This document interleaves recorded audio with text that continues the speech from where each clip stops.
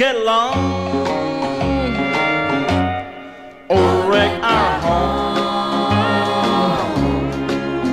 That's the choice that we've got to make. We're standing at the crossroads.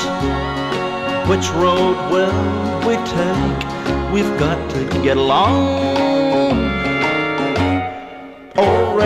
home. If I give up my right to disagree, do you think you could get along with me?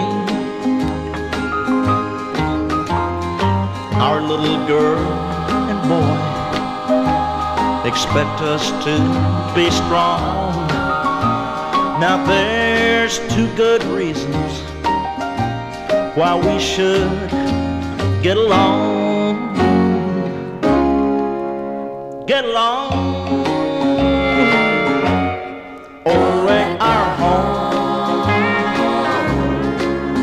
That's the choice that we've got to make. We're standing Which road will we take? We've got to get along or wreck our home.